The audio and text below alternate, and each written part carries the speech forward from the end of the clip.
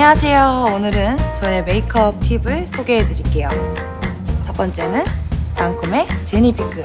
제니피크 세럼을 메이크업을 하기 전에 한 방울, 두 방울, 듬뿍 듬뿍 발라줍니다. 제니피크는 어, 저녁뿐만 아니라 메이크업 전에 아침에 발라주시면 훨씬 광채가 살아나고 화장도 아주 잘 받아요.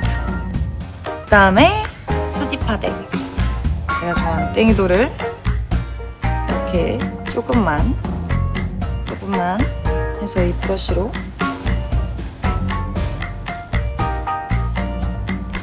이렇게 얇게 펴 발라주시면은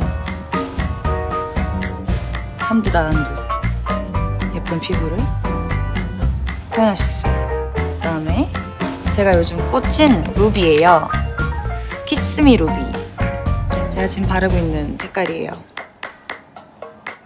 daily lip으로 MLBB 색깔로 아주 딱입니다. 그리고 조금 특별한 날에는 레드 루비. 오늘은 레드 루비를 키스미 루비 위에 조금 발라보야겠습니다. 짜잔! 끝!